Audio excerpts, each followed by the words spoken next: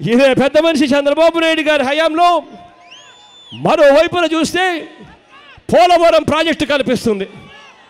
Polavaram project అన్నది మనందరికీ కూడా ఒక వరం లాంటి ప్రాజెక్టు. అటువంటి పోలవరం ప్రాజెక్టు పూర్తవుతే ఉత్తరాంధ్ర సుజల సమంతి ద్వారా మనకు విశాఖ విజయ మనకు విశాఖపట్నం విజయనగరం శ్రీకాకుళం జిల్లా దాకా కూడా నిల్లొచ్చే పరిస్థితి. అటువంటి పోలవరం ప్రాజెక్టు నాలుగున్నర సంవత్సర కాలం అయిపోతా ఉంది. ఇంతవరకు ఆ పోలవరం ప్రాజెక్టు పునాది గోడలు దాటి ముందుకు పోని పరిస్థితి ఇవాళ పోలవరం ప్రాజెక్టులో కనిపిస్తుంది. పోలవరం ప్రాజెక్టు ద్వారా రైతులకు మేలు చేయాల్సిన ఈ పెద్ద మనిషి చంద్రబాబు నాయుడు గారు ఆ ప్రాజెక్టును పూర్తిగా అవినీతిమయం చేసిన ప్రాజెక్టు. అవినీతిమయం చేసిన పరిస్థితిలో ఇవాళ పోలవరం ప్రాజెక్టు కనిపిస్తుంది.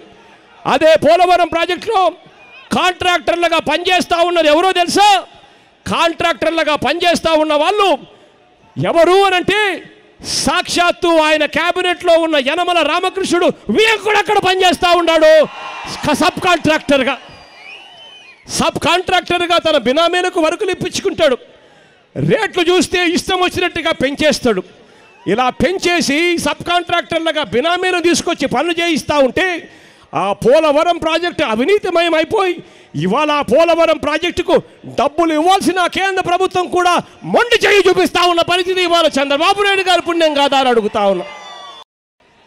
ఎంతటి దారుణంగా ఈ ప్రభుత్వం పరిపాలన చేస్తూ ఉంది అంటే రైతులకు ఆయన చేస్తాను అన్న రుణమాఫీ చేయకపోవడం మోసమైతే ఆయన చేస్తున్న అన్యాయం ఏమిటో తెలుసా?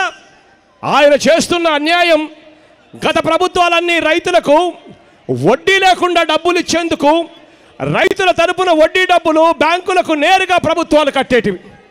కానీ ఈ పెద్ద మనిషి చంద్రబాబు నాయుడు గారు ముఖ్యమంత్రి అయిన తర్వాత ఈయన చేసిన అన్యాయం ఏమిటో తెలుసా? రైతుల తరపున కట్టవలసిన వడ్డీ డబ్బులు బ్యాంకులకు ఈ పెద్ద మనిషి చంద్రబాబు నాయుడు గారు పూర్తిగా ఎగనామ పెట్టాడు కట్టకుండా ఈ పెద్ద మనిషి. దీనివల్ల రైతులకు ఏ ఒక్కరికి కూడా వడ్డీ లేకుండా రుణాలు వచ్చే పరిస్థితి ఇవాళ లేకుండా పోయిన పరిస్థితి. ఇవాళ రైతన్నలకు గిట్టుబాటు ధరలు లేవు సున్నా వడ్డీలు లేవు పావుల వడ్డీలు లేవు అక్క చెల్లెమ్మల పరిస్థితి చూస్తాము అని అంటే అక్క చెల్లెమ్మలకు రుణమాఫీ అని చెప్పి మోసం చేశాడు ఆ పెద్ద మనిషి చంద్రబాబు నాయుడు గారు ఈయన అధికారంలోకి వచ్చిన తర్వాత ఒక్కటంటే ఒక్క రూపాయి మాఫీ అయిందా అని అడుగుతా ఉన్నాను ఒక చెల్లెమ్మలకు సంబంధించిన బంధువులందరినీ గట్టిగా రెండు చేతుల పైకి ఇలా ఇలా